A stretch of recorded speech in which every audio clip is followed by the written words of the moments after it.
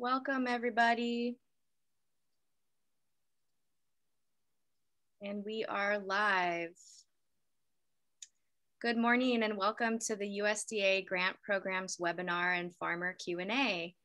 My name is Kellie Henwood, and I am the Regional Small Farms Program Coordinator for WSU Extension in Clallam, Jefferson, and Kitsap counties. This webinar was organized by WSU Extension and the North Olympic Development Council and was made possible by funding from the USDA Rural Business Development Program. Guest speakers today include Carlotta Donisi with USDA Rural Development and Ryan McCarthey from Dungeness Valley Creamery. Our moderator today is Mark Bowman, Sustainable Ag Agriculture Program Coordinator with the North Olympic Development Council and goat farmer extraordinaire, owner of Bowman Farms LLC out of Port Angeles. If you have questions for the guest speakers throughout our webinar, please utilize the Q&A feature at the bottom of your Zoom panel. Two more things. This webinar is being recorded and will be available for viewing afterwards.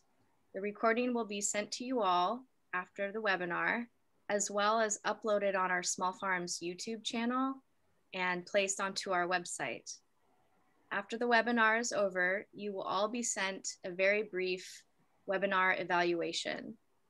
Since this webinar is grant funded, we greatly appreciate your feedback. Without further ado, I'm gonna turn it over to our moderator, Mark Bowman. Mark? Great, thank you, Kellie. Welcome everyone. Uh, so we're going to start with Carlotta is gonna spend uh, about 20, 25 minutes uh, going through two of the grant programs that are upcoming uh, this spring, and she'll give more of the details of those.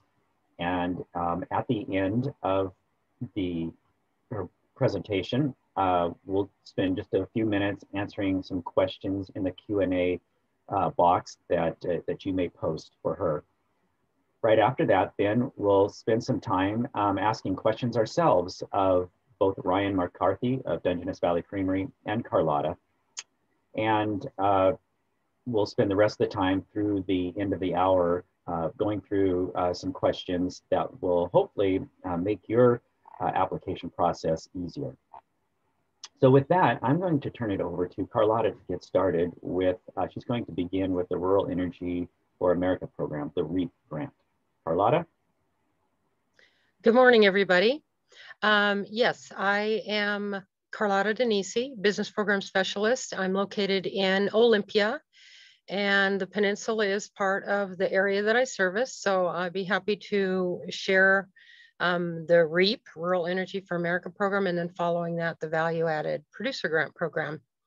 Um, I will have to move along pretty quickly through it. And even though we have questions and answers, I would expect that you would, uh, if you are uh, really interested, you will be free to contact me and my phone number and email will be, is made available on, on both of the uh, presentations that are being done today. And, and I would welcome any contact from anybody that wants to pursue either program. So let's start with what I would call the easier of the two programs, the REAP. And this program is uh, designed for ag producers, ranchers, and rural small businesses. Um, of course, all of um, Clallam and Jefferson County are rural anyway, so all of our programs are eligible under business. Um, this program is meant to assist um, uh, farms, branches, and small businesses to either um, put up a renewable energy project project like um, solar, done a lot of solar projects, and it also can be used for energy uh, efficiency improvements.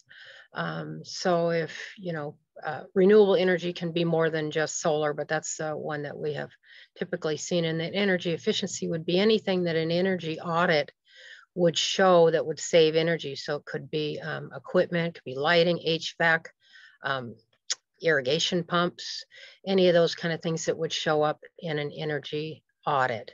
Um, so to qualify as an ag producer, over 50% of your income would have to be derived from um, ag production.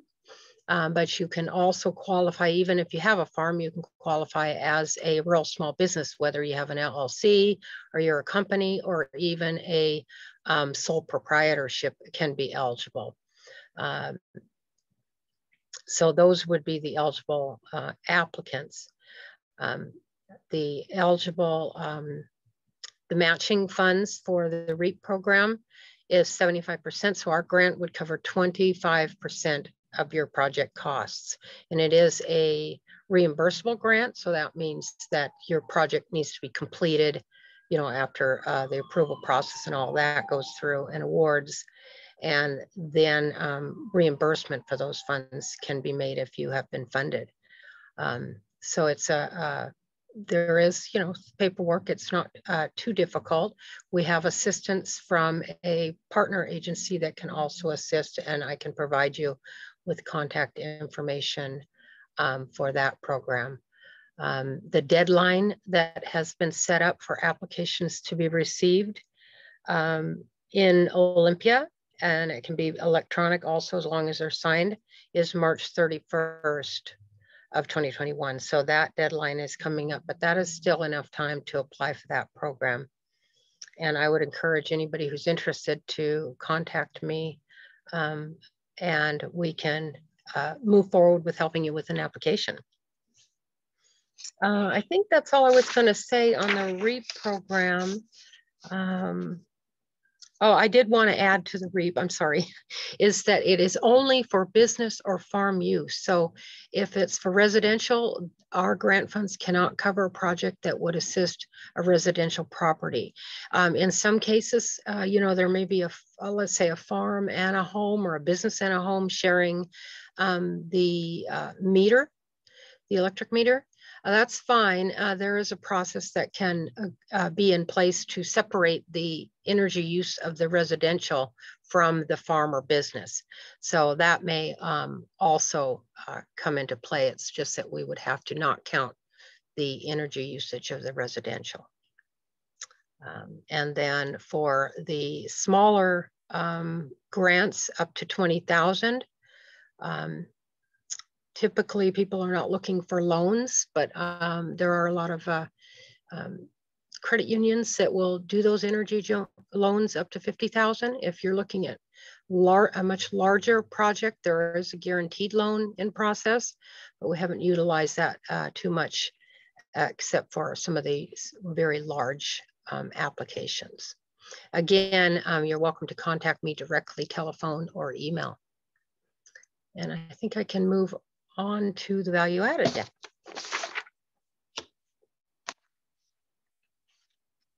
And we were going to wait until the very end for questions on on REAP also. Is that correct, Mark?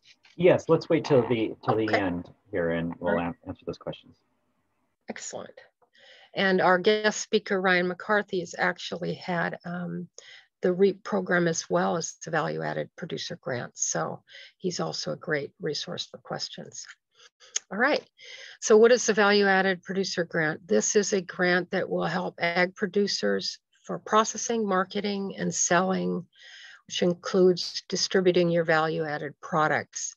Um, it's for the sole purpose of, of helping you to expand your market and increase your revenues and customer base.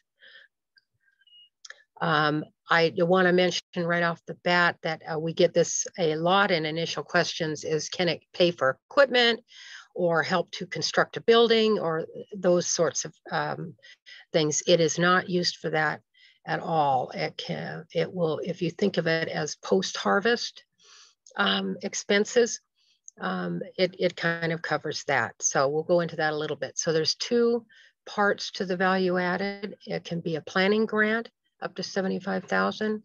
Um, and it, the planning can be to cover if you wanted to do a complete feasibility study or business and marketing plans can be used for that.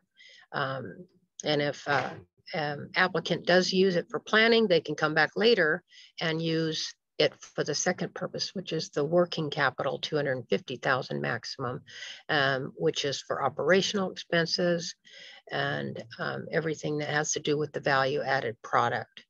Um, and again, it doesn't cover um, uh, production or growing expenses and no equipment or construction.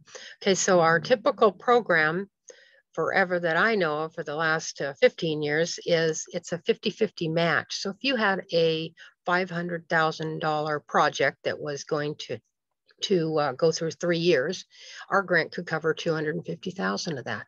Um, something new that is uh, this year because of the COVID relief funds, we actually is going to be added um, an additional 36 million to the already 40 million dollar pot um, for a total of 76 million. That's a, that's a lot of funds. So um, there's going to be amendment to the uh, federal register that's already been published that gives a March uh, 22nd deadline. So once the new publication is issued, it's going to give an additional 60 days. So anybody who's heard about the grant and knows about that March 22nd deadline, that is going to be extended. Unfortunately, it's not, you know, it's not been uh, published yet. So I kind of have to just give you that information off the top of my head. So if you were at all close to or interested in applying, you're going to have additional time to uh, work on that. Um, that's a lot of funds. And I guess I'm going to switch to a, just a little bit of statistics. I don't have a slide for that, but I just wanted to let you know that out of the whole nation as a five-year average, um, Washington State's actually spent the most in value added um, producer grant funds as well as had the most projects. And I think that's pretty amazing when you look at some of the high um, ag states like California, which is, yeah, we're kind of neck and neck, but uh, we still have more. And I think one of our, uh, mm, I'll say specialties for our state, especially the west side of our state, is we have a lot of small, small farmers um, small farms, I mean. And um, so that, but even with that, again, we have used more funds. So I guess I'm saying that to say that, you know, through our business programs, we really do support the value added producer grant. And we do have people in addition to me that um, can help you get through that process. So um, that's one of the reasons why I wanted to state that. And, you know, we can all be proud of our, our state for sure. Okay, we can um, move on. Okay, so for applicant eligibility, uh, you can apply as an ag producer. Um, and that would mean that you are fully and directly engaged in the production of your ag commodity and that you have the uh, legal right to that ag commodity um, that you are going to be using for the value added project. Um, and directly engaged, that second paragraph goes on to say that you, you substantially participate in the labor management, field operations, and maintaining the ownership so that it, uh, a non, uh, an absent um, farm owner would not be eligible under this program. Okay. Uh, there are four uh, applicant types, independent producers, which make up the greater part of the applications that we received. And the previous slide kind of uh, indicated what independent producers would be. And then there's ag producer groups, which still have to be, um, uh, you know, legal groups that are formed with all of the members being independent producers. And then farm and rancher cooperatives, which we have done um, recently, last year did uh, a couple of cooperative um, grants into the value added. And then the less used uh, is the majority controlled producer based businesses, but we can move forward. Next slide. Um, so the independent uh, producers, go on to the next slide. Oh, I'm sorry. well, I'm not that experienced at Zoom, so maybe go back to the previous slide. So you must be able to produce and provide more than 50% of your raw commodity to be used in your value added product. Um, and you must own the product from its raw commodity state uh, through the value added um, project. Um, for value added products with uh, multiple ingredients. A producer, you don't have to uh, produce all of the ingredients. You just have to have one of those ingredients and that one ingredient um, you have to grow or produce on your farm or ranch over 50%. So um, with the value added uh, project, you would qualify the product in five different methods. And I think the next slide talks about that. You must show in your uh, application and in your plan that you will increase your current customer base and increase um, revenues uh, due to that value added um, product that um, will be done. So even if you're increasing you know, five customers or two customers, um, you know, some of the smaller grants, that is allowable. Okay, go ahead. So the five methods of adding value, you have to qualify for um, at least one. Sometimes there's more, but you would select one and it's um, just easier to go ahead and describe that one method rather than have to spend all your time describing all methods in your application. And it's perfectly acceptable. You do not get extra uh, points and it is a competitive grant. So you would not score more for listing, you know, one to one, two, three, or four, or whatever. So um, the, the main one that's usually used is changing the physical state of your product. So an easy example would be apples to applesauce or um, greens to bagged greens, um, that kind of thing. Um, actually, and then the second would be locally produced marketed and distributed. So let's just say you're you're you're not changing the physical state, but you're marketing it as I don't know, I'll just say Sequim Valley um, grown. You know, that would be um, you're producing it there and you're marketing it and distributed it under that um, name. So that would be your method of adding value. Um, and then just or just locally. And locally for us is anywhere within the state or um, no more than 400 miles away, even if it's in another state. So that's a, a pretty big area for locally. And then the um, number three would be enhanced uh, production methods. And that would be uh, something like you are um, marketing it as, uh, you know, organic certified or maybe grass fed. Um, so that would be an enhanced production method that you're using to, to you know, garner a higher price for your, prod, for your products.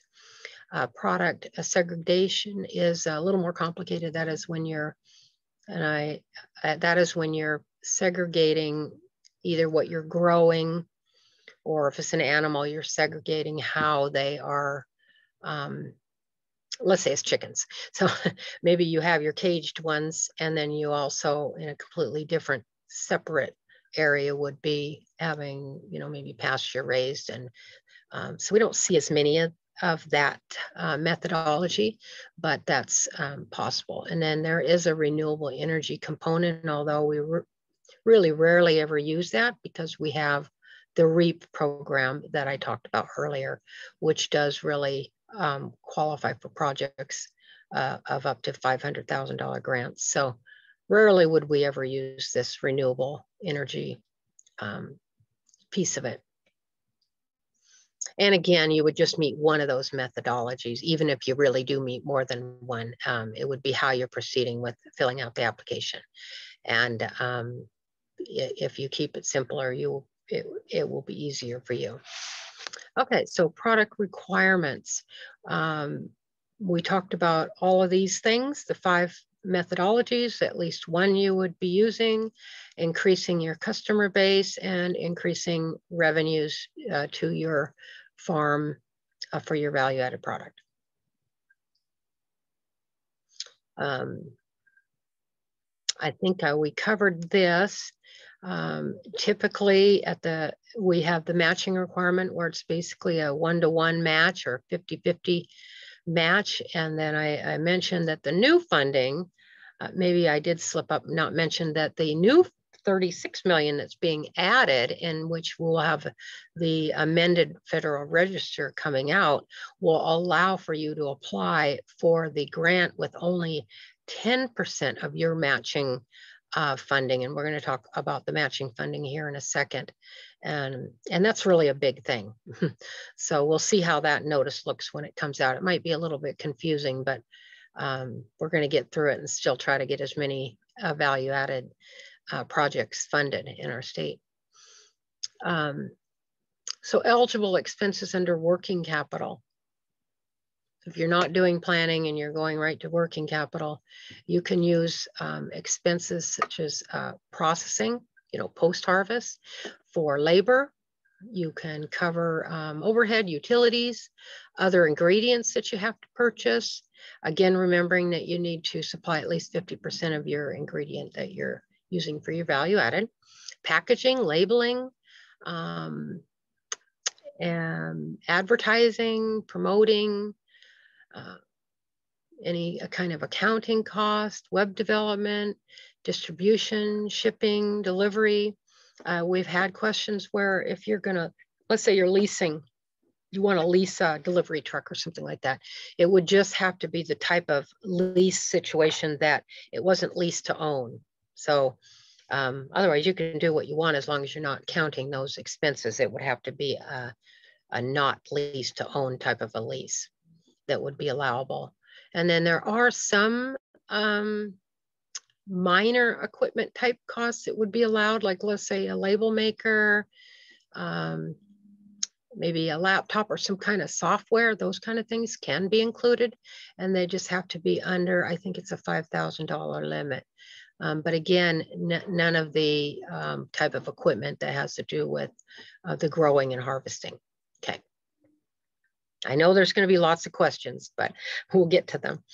And then again, for ineligible expenses, uh, kind of uh, bringing that home again, no construction, no equipment, no vehicles, um, no production and harvest costs, and, and or engineering or any architectural for, uh, for construction or any of that. Uh, so back to the um, matching funds, which typically would you would be matching 50% total, but you may be applying for the 10% match. So that's going to kind of, and it is the first time I've ever seen it. So it's going to be a little confusing.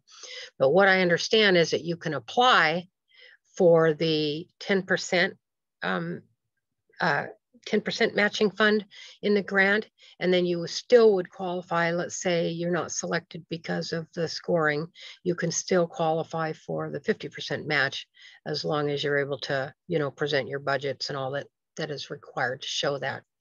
Again, it's it's a little awkward talking about it because we've never um, done it and the federal notice is not even out yet, but we'll get through it. Um, so uh, matching funds, there's different um, ways to look at this also. Um, applicant cash, which can include loans, um, you know, does score a bit higher than if you're using some of these other methods.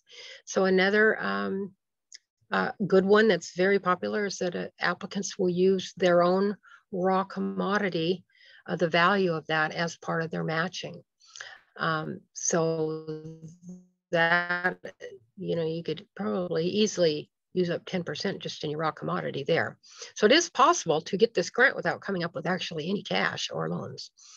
Um, then the third method would be um, applicant or applicant's family in-kind contributions. So this would be your contributions to the project, either whether it be processing or anything that you're doing as far as marketing or any of that kind of thing, but that can only make up 25% of the total project costs. So there's a, you know, just you can in your mind put a little asterisk next to the applicant in-kind um, contributions. And then um, third party cash um, can be is allowed and third party in kind contributions. So these are um, the third party in kind could be maybe another organization is volunteering their in kind time to help you do, I don't know, um, marketing or web web development or you know something of that sort. So matching is kind of a big deal, but um, um, obviously from my end, I just love to see, you know, cash only. It's the easiest to document and it's the easiest to, for you to document later when you're asking for reimbursements. Um, okay, we can move on. Okay. Um, So under application types, under working capital, there's some different benchmarks and that's where it gets a little more complicated and and you know i would definitely want to spend more time speaking with you um, to see what kind of benchmarks you're you know you're at. So a simplified application let's see uh, mark if the next slide shows the breakdown of these. Okay it does so let's go back to the one again, sorry. um, so there's, so you would either be applying under simplified, which basically is under 50,000 or market expansion or emerging markets. So the next slides will go into a tiny bit more detail. So the simplified application is less than 50,000. So it could be, you know, 49,900, get a lot of those. So that would include any kind of applicant type that are eligible. And this one would not require a third party feasibility study or a third party business plan. It would just be, you know, you would just have your business plan built into your application or have your business plan that you've prepared yourself off to the side. So this is a pretty uh, popular way to apply. Um, again, as in all of them, you have to show customer uh, base expansion and revenue increase to your farm. Okay, next one, the emerging market. This work gets a little more confusing, but this is if you're asking for a grant of over 50,000 and you have been producing and marketing your value added product for less than two years. Um, it does allow for all applicant um, types. Um, and you do have to have an independent feasibility study and a business plan is required with this type of application. So the benchmark here is over 50,000 grant and uh, less than two years that you have been producing and marketing the value added that you're going to be working on. Next. So market expansion, again, it is grants over 50,000 or 50,000 or more. And then um, the applicant would be producing and marketing for at least two years, so two years and more. So that's where that benchmark is. And again, um, uh, independent producers are the only eligible applicant type for this. So that's kind of a key thing too. Um, I, and like I say, most of our applicants are independent producers. So this one requires, does not require an independent feasibility study um, but the applicant must, uh, you know, submit a marketing plan um, with their application. So there's, you know, some particulars that we would want to drill down to uh, when you're when you're looking at really applying, so we can move on from there. Um, so uh, this is one of our most complicated grant applications. Um, but there is assistance, uh, you know, available to kind of get you through it. Um, we have a, um, a toolkit that's on our national website so that every application across the nation um, uses the same uh, template and it's a toolkit. And part of that is the work plan and the budget, which describes your narrative um, of the project, pretty detailed. It requests pretty detailed information um, your goals and all of the tasks. Your budget has to be broken down, um, whether it's labor and other tasks or supplies, all that kind of thing.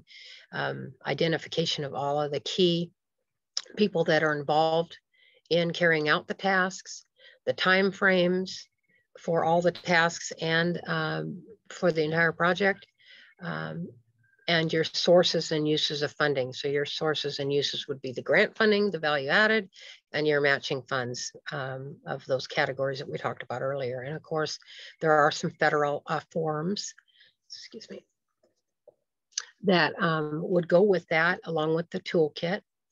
And then, um, you know, at the bottom of this screen, it says DUNS and SAM registration. So if you are not already signed up with a DUNS number, and SAM registration.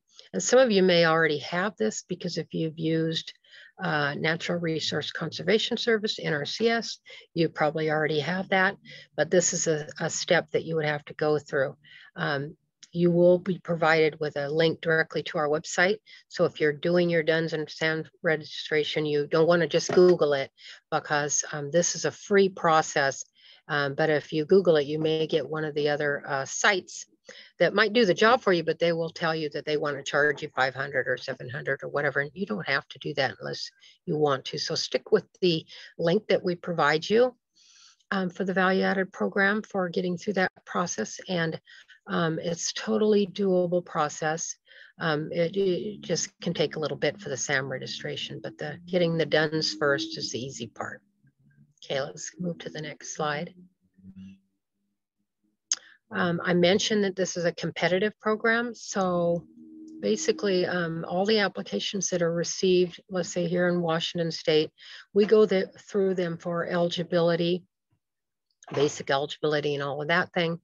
And we also do score it within our state, and then we send every one of them back to the national office. So all applications uh, compete with each other nationally. Um, so that's an interesting process, takes some time, um, but uh, is fair. Uh, so some of the criteria would be that, you know, for scoring is how well you have described the nature of your project. Um, so, you know, you're writing it so somebody that's not doing what you're doing can understand each step of the project and everything that it takes to um, have technical feasibility, operational efficiency, uh, profitability, and sustainability. And the template um, when you go through an application template, it looks like a lot, and it is, but it does actually describe what we're looking at, what level of detail we're looking for. So um, qualifications of the personnel, so that would be, you know, basically kind of like a resume, except for uh, you will have it, you know, um, simplified in the application to show your experience as a farmer, maybe any uh, other um, experience off farm, as well as maybe degrees, that kind of thing. Commitments and support. So this is where we're looking at um, not just matching funds, uh, whether you're providing cash or in kind, but other um, commitments from end users and suppliers. Um, so that would be uh, like let's say you're you're going to market your value added product to i don't know some new stores. So you would be showing interest showed by the other stores or the farmers market or whatever those would be. And then also if your value added project includes other suppliers say your other um, you know the other ingredients that go into your value added product, you would be showing who those suppliers would be and maybe have letters of their intent, that kind of thing. So that, um, and again, the, uh, the toolkit really does describe what it is we would be looking at you to describe and to provide for attachments.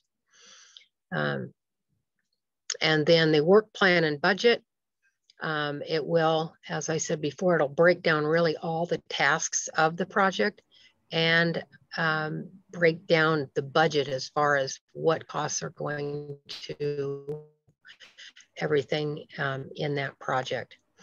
Um, priority points.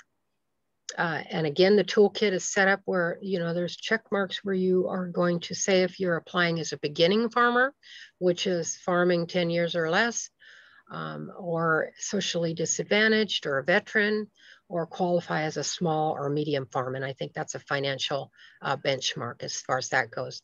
Again, the toolkit, if you dive into it and kind of go through it, um, you won't have to remember everything I'm saying here, but it's going to be, be in that uh, template. Okay, let's move forward. Um, here is my contact information my phone number and I welcome anybody to contact me. If this slide is made available to you, um, I think you'll be able to click also on the application toolkit, which is underneath the contact table so that you can get to the toolkit and take a peek at it maybe before contacting me and also the DUNS and SAM um, direct uh, information for that. Um, and how did I do on time, Mark? You, you did just fine. And um, any last uh, closing thought that you have um, before we move to the question answer? I just, again, I want to encourage anybody who's interested in looking into it um, to go ahead and, and um, you know, look at it, see if you're ready for, I'm, I'm going to estimate that we're going to have a new deadline that's going to give you a couple more months from now. But again, it's not published, so I can't say exactly. Um, so there would be time to look into applying for it. If not, you can always start looking at it and tossing it around in your head and on paper for, you know, if there's a notice next year. Um, this is this and the REAP program are funded under the Farm Bill. Um, and I don't see the the Farm Bill type of legislation going away anytime soon. Um, so it's not, it wouldn't be your last chance if you're just not ready to go, but sure would be glad to talk it over with you anytime that you contact me. All right.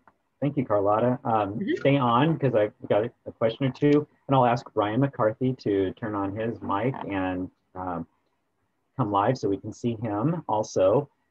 Uh, we do have actually a question. I know there was a question posed earlier that um, Ryan uh, started to answer and, and did. And there's another question though that came up. And so the, this question is, so the value added producer grant can be used for an organic certification to market your product as organic, as in being certified organic is considered value added producer. Is that, um, is that acceptable under the value added producer grant?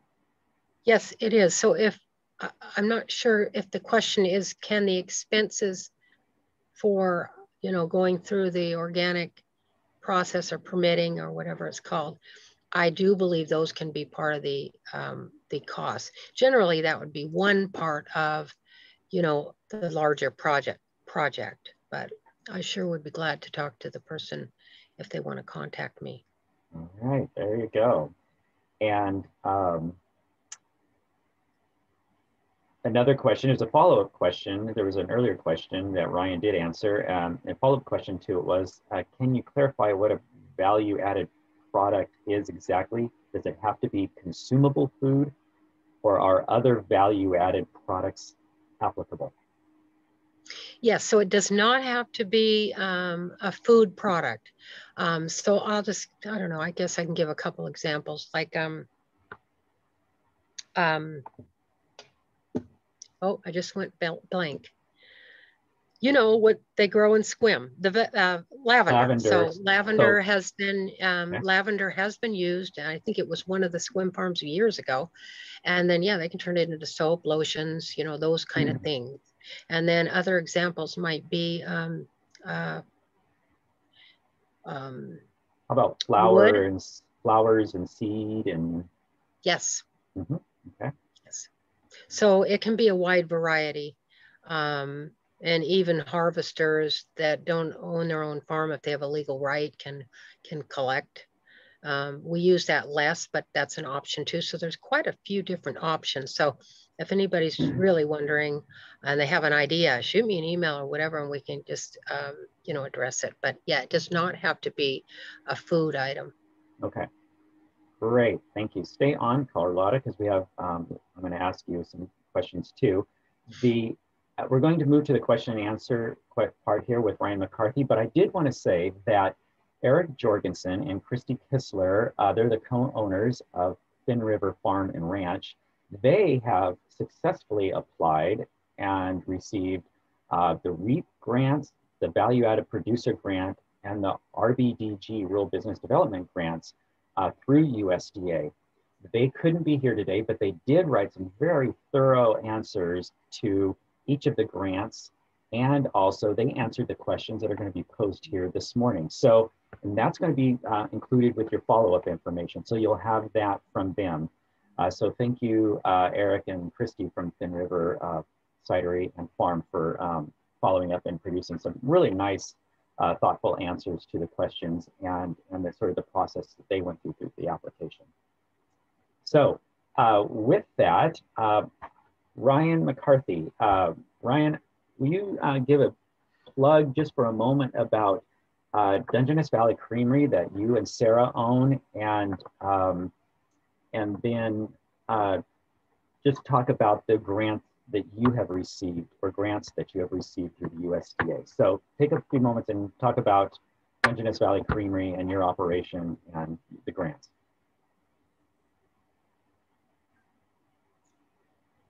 Thanks, Mark. Um, yeah, Dungeness Valley Creamery is a raw milk dairy and Sequim, and we've been in existence in this location since 1992. Sarah and I took over from her parents, Jeff and Debbie Brown, in 2012. So actually, the end of this month, in a few more days, we'll be completing our ninth year of owning the business. Um, we, I first met Carlotta actually at the one of these workshops in person in 2014, I believe and uh, that was when I was first looking at the value added producer grant. And um, I ended up applying first for the Rural Energy for America program, REAP grant, for a 25% cost share on a uh, $80,000 project. So we received $20,000 in cost share for 72 panels, uh, solar panels to be put on our barn roof.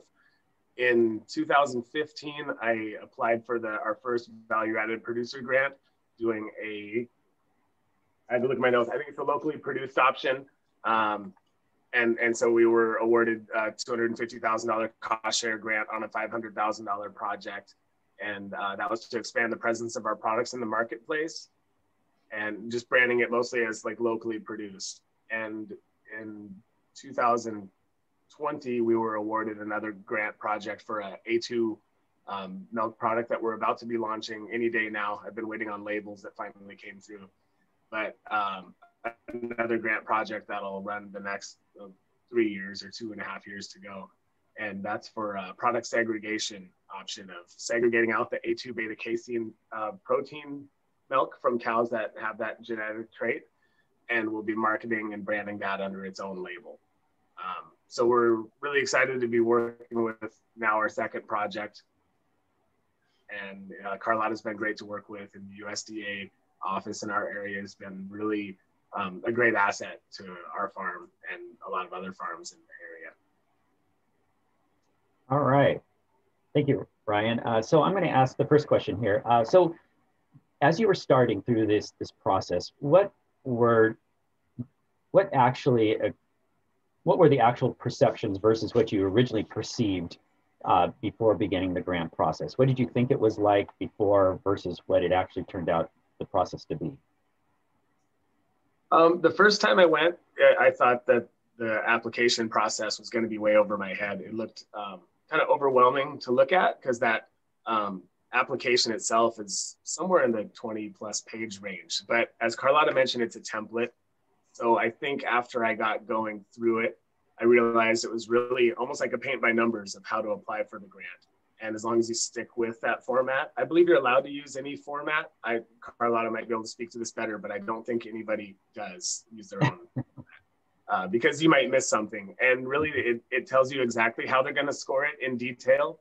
And on, after our first grant, I asked for a copy of my scorecard, and they were able to provide me the notes and responses of where we where we could make improvements, so that on our second round, uh, we made sure to get a better understanding of how to how to score better. So I don't know that we actually did uh, yeah. score better in the end, but um, we did a more thorough job in those areas that that I have some points on. So you table. you do feel that sticking to the application template is the way to go. Okay. Yes. Great. Yeah. Um, tell me in just large details, what type of information did you have to submit? What were the, the basic categories of, of information? I know Carla, Carlotta talked about it, but tell me a little bit more from your perspective. I think that uh, it, the template has you build out a lot of information about your farm. So there's a good chance most farms are already going to have some content related to this, even if it's just something on a brochure or a website and you you'll just elaborate on that and turn it into more thorough documents. So I think in part it sort of creates or forces you into creating a three and five year plan. Um, you're going to do projected analysis of, of cash flow or revenue through the project, and it's going to really guide you through the process of making sure that your project is successful with the, the business plan portion and the market analysis research that you do, as well as uh, your in part asking for some of those letters of support. Um, that was one of the areas that I made some mistakes on the first time. I got letters of recommendation, but not letters of commitment and letters of, of support. So letters of commitment are more specifically um, a grocery buyer or an end use consumer that's pledging that they're going to purchase a set amount of product. And uh, there's a lot of great resources in our area, including like WSU Extension, in our case, the North Olympic Land Trust, both um, North Olympic Development Council and the Clallam EDC uh, wrote letters for me last time. I think I had about eight or nine letters of support, um, including I think I had one done by our graphics designer. Um, and then I pulled that at the end because I thought it wasn't as applicable since I'm more of a customer But I was kind of asking everybody, and it's amazing the amount of support and people that are willing to provide detail for you for support. Actually, I think you made a real nice clarification there, the difference between a letter of support and a letter of commitment. And I think that that is really um, important uh, distinction for, that people understand. And uh, Carlotta, do you have anything um, regarding letters of support and letter of commitments that you want to add to that? Um, I think uh, Ryan described it pretty well. And, you know, um, in the template, it does talk about what type of letter of commitment it is, whether it's an end user like a buyer, or again, whether it's um, uh, some other, you know, supplier that is integral to your, to getting the, the value added product out.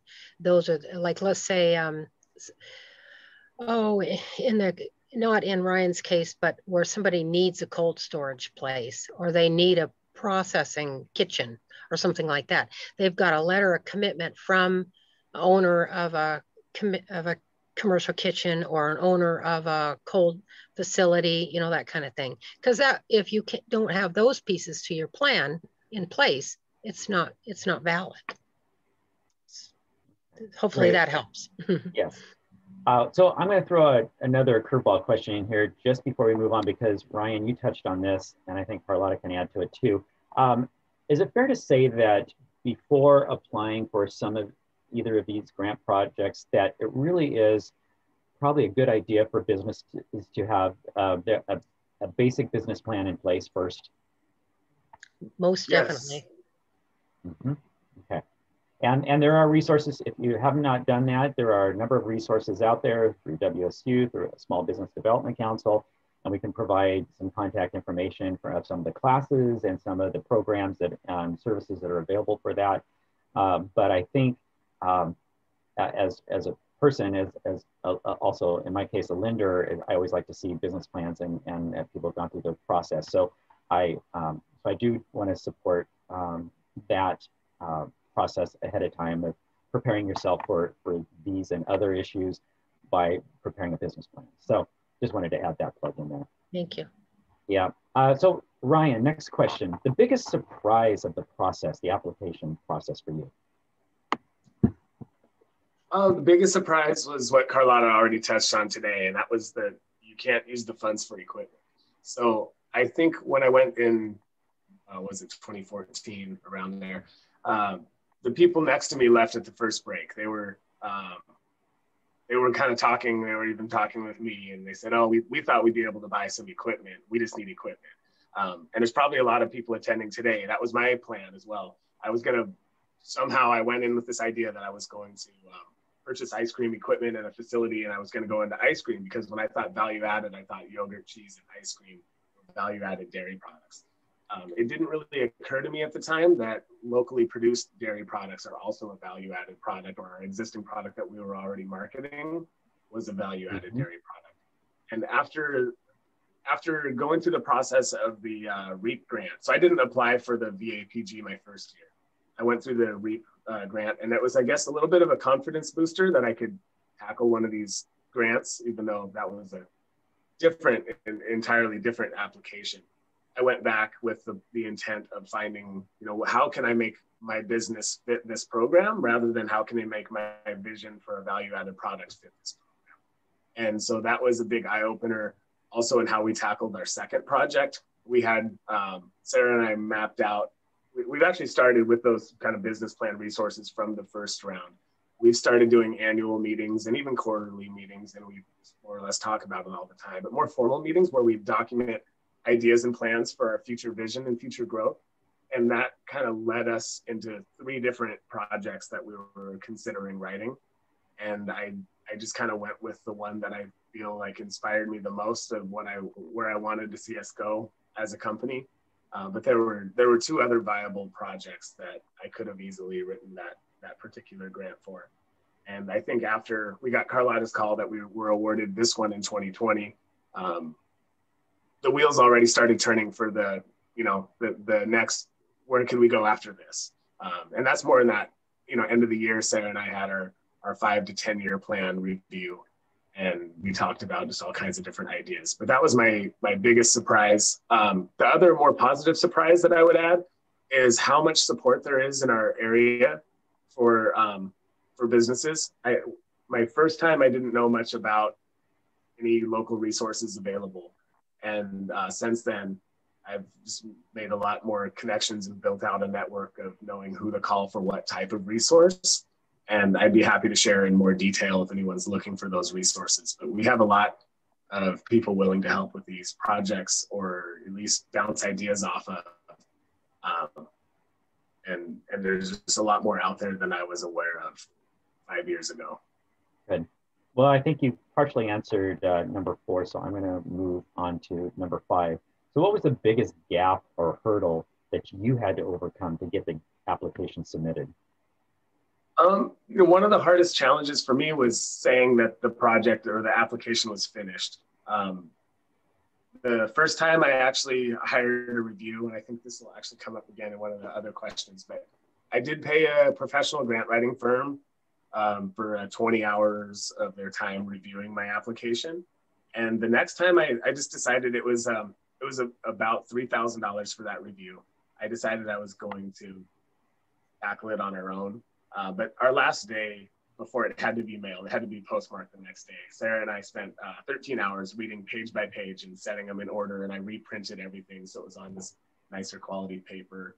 And um, just kind of letting go of it and sending it in the mail was honestly one of the biggest challenges I had. Um, it was hard to it was hard to say it's done because there's always something you can add or change. Right.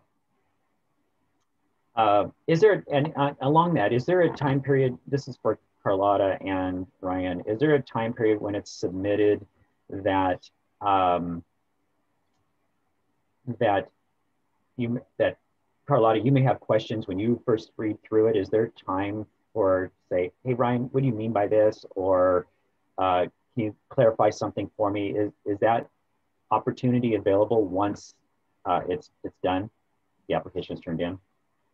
So yes, it is. If um, you know, once the new federal uh, publication is, has got a deadline in place, if I have it enough time, enough time to review it before the deadline, I can give feedback. If it comes in on the deadline, um, I'm not really going to be able to do that. So okay.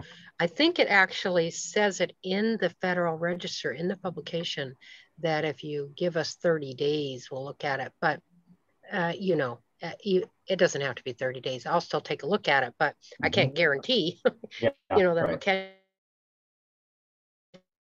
everything. But definitely, I oh, last year I caught um, a pretty big mistake on one where they just didn't address the customer base at all. Uh, you know, you have to increase your customer base, and somehow they just they, boom, it wasn't there.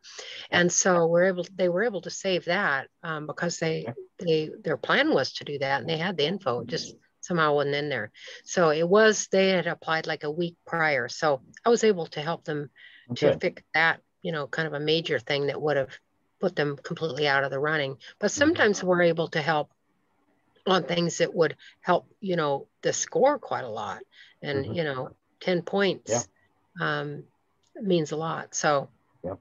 definitely to the best of my ability, um, I'll look at them beforehand.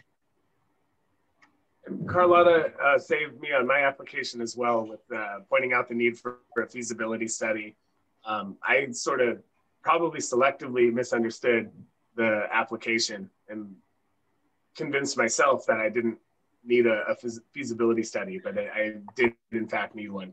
Um, so that's where having a, a, good jump on it early on and being able to have someone like Carlotta who sees I, I assume hundreds of these oh, over the years. Um, it's nice to have somebody that really knows these things look at it.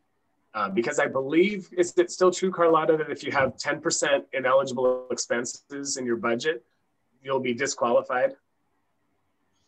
Yeah, let's say it came in on the deadline. I couldn't look at it.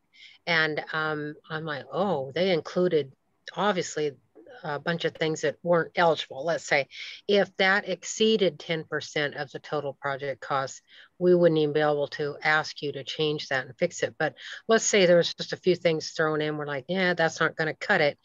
Uh, but we can determine you eligible. And then later, if we are able to fund you and award it, we would you would chop that out of your budget and your planning. You know what I mean? So, yeah, that's a good point. Okay. Um, I'm going to skip number six and tell me about uh, Ryan number seven. Between you applied for the REAP and got the REAP grant and the um, um, rural business, or excuse me, the value add producer grant. Uh, waiting periods uh, until notification for you. Um, that's from the application being submitted until. Mm -hmm. Yep. Until you were notified of being awarded the the grant. I'm guessing Carlotta and I have opposite answers because it probably seems really fast to her when she gets reviewing them and then the scores come back and then she has to do all the paperwork on the processing end. Um, for me, the first time was, it felt like an eternity in part because I was checking online every day. I would just do a little quick search online for, um, for the information and it actually doesn't come out on the internet before Carlotta gets it and you get the phone call and I believe is that the um, local governments get an opportunity to announce funding. Um, so, uh, but I would say it was it's a couple month window. Does that sound right, Carlotta? Maybe a two to three month window, or maybe a little longer than that. I think I applied. Well, like for for the it's different for both programs. So REAP, it depends on um, what cycle you've applied for. So we have just received our um, funding allocation for our state for REAP for the energy program, and we've had people that applied, you know, back in October. That's the win of our new fiscal year, but we just received our allocation of funds. So there's a whole period of time that we couldn't even uh, really, we could score them, but we couldn't tell anybody, you know, how they ranked until we actually had the funding. So the REAP program is a little is a little different there than the value added in that we have oh, whenever the deadline is, we will have a couple of months here in our state, our employees in our state, to go through the eligibility and the scoring and get it up to the national level. And then they have a couple months because they've got to send it out to independent um, reviewers and those that score it that are independent of government, you know. Um, and so that that process uh, does seem like it takes forever. So, um, you know, I would say you're at least going to wait four or five months on the value added okay. to find out, I think. okay. So Ryan, I have two more questions for you. It's number eight and nine. Um, and real quickly, you have the REAP and then you have the value added producer grant. Once you received notification, what was the grant implementation process like for you? you um, feel it was it was it went smoothly and it was very you know strong communication back and forth or was there a lot of um, aha moments in the implementation? I would say for us because it was just one project for the reap grant it was just solar. It was one contractor. We used power trip Ener- energy in port townsend. And because it was kind of one invoice it was a fairly simple process. We ran into a couple hiccups where i believe this has been changed going forward, but there was a unity of ownership required between the owners of the physical structure of the solar panels, the PUD account holder, and the underlying landowner, which we lease the property that we're on. And so we were able to get that cleared up with um, with the state through just, um, gosh, I want to say through like purchasing the corporation purchased the barn for a dollar because it's my in-laws, and uh, it was pretty easy to work through, but it was just a small snag. Um, the first project for us, because it was, uh, I just blanked on the type of project. Uh, locally expansion. produced. Locally produced. Yeah. So be, being a locally produced project, it was, in a lot of ways, it was a continue, continuation of business as usual with the addition of extra marketing efforts and extra outreach. Um, but it was a lot easier to get started. And then this more recent project has just had um, a lot more to get the product launched in terms of graphic design. And with COVID, there's been some delays. But at the same time, it's been it's been a good experience to like work through and but it was a, a learning curve between you know you make phone calls and something's going to take two weeks but then all of a sudden it takes six or eight weeks. So i feel like there have just been more delays.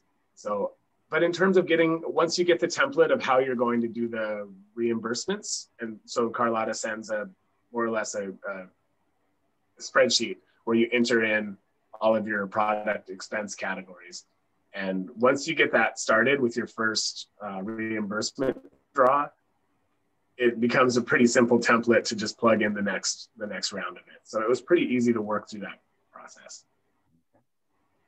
so Ryan, um, I'm going to ask you one more question, but before I do, I'm going to have Kellie uh, come back on uh, so she can give some closing remarks regarding um, follow-up information and things like that. So, uh, so she can be prepared. Uh, but the uh, question, last question for you, Ryan, uh, and thank you so much for participating today. This is very helpful, very informative, um, and I hope everybody here um, gained a lot by hearing from Carlotta and Ryan and hopefully the information from uh, Finnriver uh, Cider and Creamery when they, um, uh, Cidery and Farm, when they uh, post their stuff for you afterwards. So Ryan, the last question is, and I, I know this must get easier over time as you do more of them, but, but would you do these, go through these grant processes again and now that you've uh, been through it? I would. Um, my role on the farms changed a lot since the first application.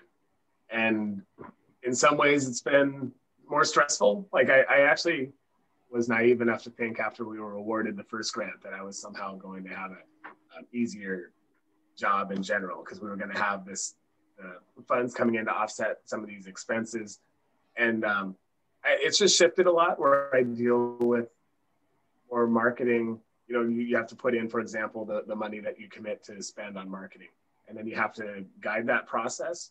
And in our case, a lot of that's just fallen on me to do, and it's not something that came real naturally for me.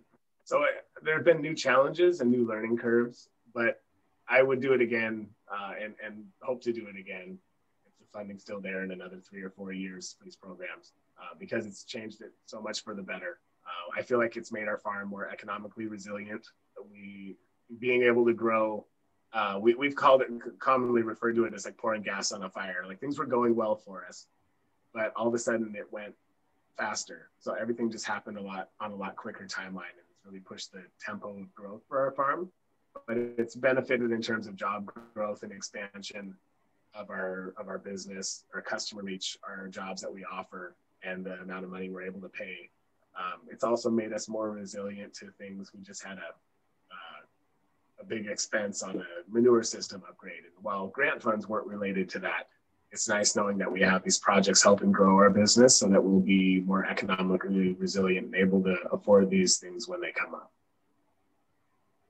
So the, the growth in your business, uh, going through this process has helped the growth in your business to help your farm become more resilient to um, things that can happen to your operation. Yeah, yes.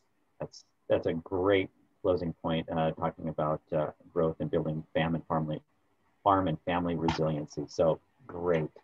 Um, I want to thank you, Ryan, for participating and uh, answering these questions. You did a great job. Uh, Carlotta, as usual, you always do a fantastic job putting together the programs and, and working with the clients. And we, uh, we all really appreciate the effort that you put out uh, for us um, as farmers, as producers, as, um, as a food community here on the Olympic Peninsula. It's um, very supportive and uh, we all owe you a lot.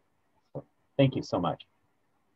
Thanks for having me. And if anyone wants to get my contact information, if it's all right, I could give it to you, Mark, or put it in the comments if anyone wants to ask any follow-up yep. questions. We'll have Kellie add that to the follow-up. So Kellie, I'm going to turn it over to you to close uh, with uh, what's, what people will find next uh, coming to them.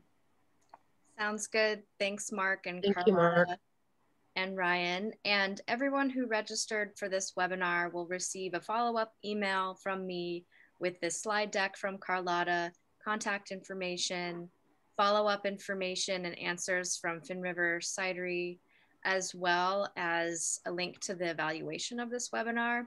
As soon as we end the webinar, you'll automatically uh, be sent to the evaluation. So you can fill it out right now, give us uh, some feedback. It's only four questions, and you'll also be emailed um, the evaluation. So with that, I will close and thank you so much for everyone's time. So um, thank you, everyone. As, as we close, maybe Kellie, you would answer uh, the second to the last question there, um, or maybe I'll I'll uh, I'll type an answer in uh, from Meryl Six here, who has a, a, question, and I'm just gonna I'll just type an answer before we close it out so it gets captured. Sounds good. Thank you. Right. Um, I will um, leave it open then so you can answer sure. questions.